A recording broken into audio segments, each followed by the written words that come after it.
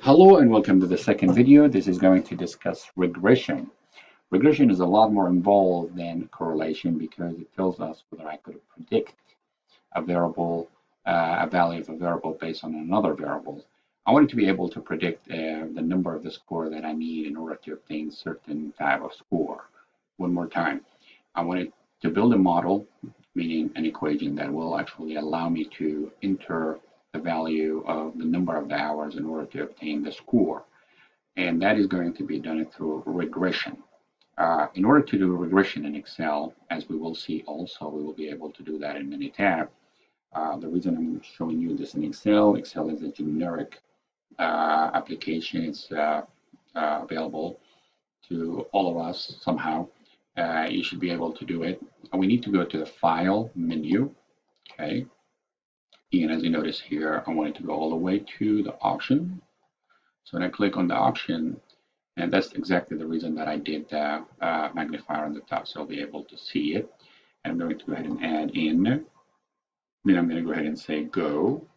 And one of the things that I need to do is to go ahead and check that analysis package. And I say, okay. And this way, when I did that, if I go to the data ribbon, you will notice that my data analysis is available for me. And I have many, many statistical analysis that could be extremely helpful and useful for all sorts of decision. And I'm going to click on the data analysis here. And one of the things that I could do, mm, uh, beside histogram, beside even correlation itself, as you notice, that we have a correlation here as well. Uh, we could go ahead and look for that regression. Here is the regression. Regression is a little bit uh, more precise than the correlation. Uh, again, the uh, input for the y-axis in this case is going to be the score, that is the dependent variable. Okay, and and the input for the independent variable, which is x, the number of the hours, we have to study first before we obtain a score. I'm going to uh, actually I didn't include the label. If I wanted to go ahead and put everything here we go. Let me go ahead and do this with the label. Okay. No, sorry, this one with the label, the first one. And the second one here with the label, including the label. Would be it. If that is my choice, then I have to make sure that the label is being checked. And I'm going to leave the significance or the confidence level at 95%. I'll explain to you what I mean by that. So I'm allowing uh, uh, to test something called p-value later. And the output I'm going to go ahead and put the, the result of that put somewhere here close that I could view it. And the same set of scores that I did in the previous example. So I'm going to go ahead and say OK. And now I'm going to get some juicy stuff, you know, data that will be very helpful for me to see. Uh, please notice that the uh, R that we calculated in the previous one to tell me about the strengths of the correlation obtained also through the regression. So if you wanted to do regression in the correlation, or you want to do correlation and regression, you could only do the uh, regression in Excel. It will give you both of them, uh, two for the price of one. And uh, notice, in addition to the number of the observation is 10, this is extremely important piece of data here. If this is this value here that I'm going to color, if it's less than less than 0.05, it means that study is significant, meaning everything we've done has a value. Otherwise, if this is not less than 0.05, then the independent variable, uh, which is the number of the hours, is should be changed somehow. They're not suitable for this study.